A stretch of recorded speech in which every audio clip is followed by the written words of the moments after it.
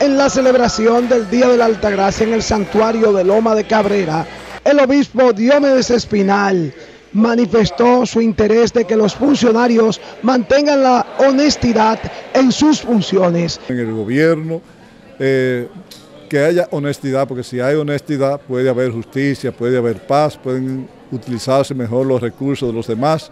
Al mismo tiempo confió en los proyectos que desarrolla el gobierno en la región noroeste. Entonces que esa promesa que se han hecho de estos proyectos, pues que se le dé seguimiento para que se le dé feliz término y así entonces incluso el gobierno puede, puede tener más eh, credibilidad y, puede, el pueblo puede tener más confianza. En la celebración en honor a la Virgen de la Alta Gracia en el santuario de Loma de Cabrera, varios fieles, así como personalidades de esta región, manifestaron su creencia en la Virgen de la Alta Gracia.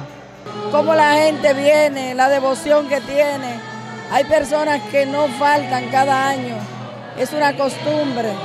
Excelente, maravillosa, divina, muy mensajera, con un contenido profundo que nosotros debemos de ser imitadores y multiplicarlo.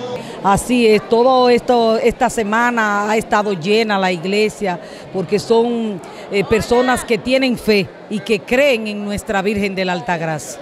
Esto está eh, rebotado por todas partes, lleno de alegría, de gente realmente celebrando.